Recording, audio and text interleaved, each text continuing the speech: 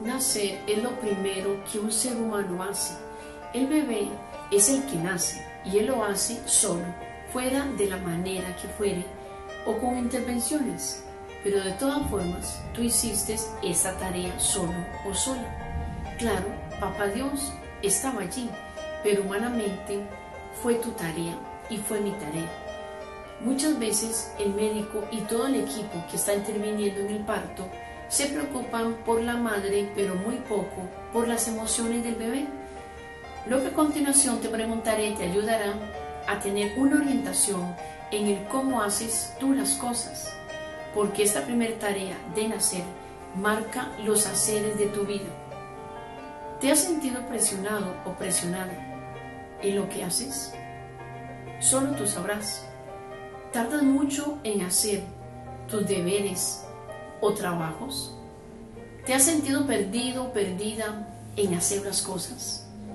¿Sientes que te asfixias muchas veces ante tareas o deberes? ¿O te ha pasado que esperas el último momento para hacer algo?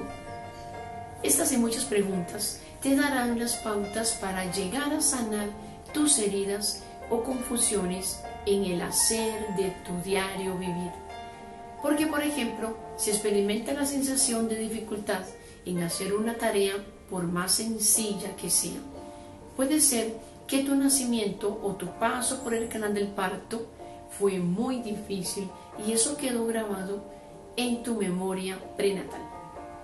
Y entonces al hacer tus tareas, las encuentras con obstáculos, así como fue tu primer tarea o trabajo, es decir, nacer. O sientes que te asfixias en tus deberes quizás, o tareas o responsabilidades, pues lo más probable es porque también en este periodo de nacer tuviste esa asfixia. Explora entonces tus emociones. Te invito a eso, ya que las detectes.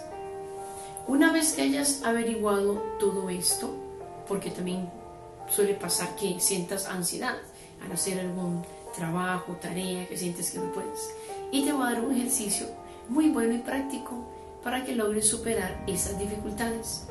Vas a decirte, ya nací, logré nacer, fui capaz de nacer, por eso soy capaz de hacer esa tarea o ese trabajo por más difícil que sea.